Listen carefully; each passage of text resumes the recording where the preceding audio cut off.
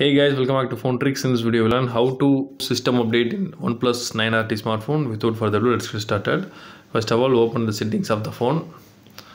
Now swipe up, you can see the option called the software update in the bottom. You need to select on that. Now the update is downloaded already. So if in your phone the download uh, show, you need to click on the download. Now in my phone, I click resume.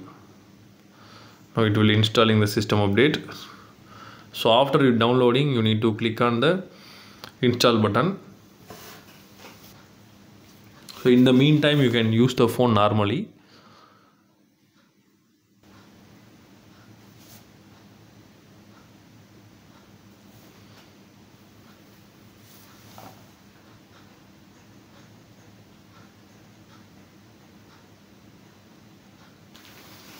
Now we need to choose restart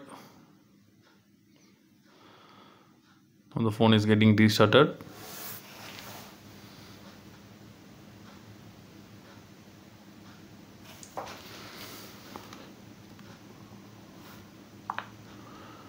Now the update is completed successfully.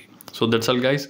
I hope this video is very useful to you. If you like this video hit thumbs up and do subscribe our channel for more interesting phone videos. Thank you